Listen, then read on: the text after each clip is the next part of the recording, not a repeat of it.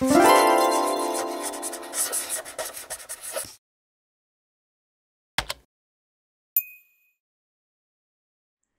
I'm getting an issue where when I extrude, I don't get the box that I need to um, allow me to make divisions in the extrusion.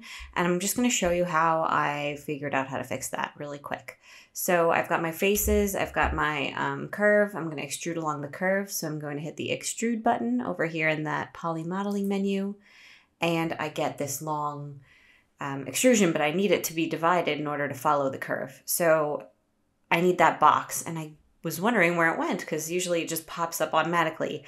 Um, and the reason it's not here is because somehow up at the top, this little button with the clock and the lots of little um, lines is turned off. So when we turn that back on, it should work the next time I extrude. So I'm just going to undo. I'm going to make sure that's turned on. I'm going to grab what I need to extrude, extrude, and there it is it came back. So then we can uh, divide up. And as you can see, it's now following the curve. And uh, that's that's all there is to it. You just need to turn this on. So if your extrusions aren't working the way you want them to, and you're not getting this box when you extrude, turn that bad boy on. All right. See you guys soon. Bye.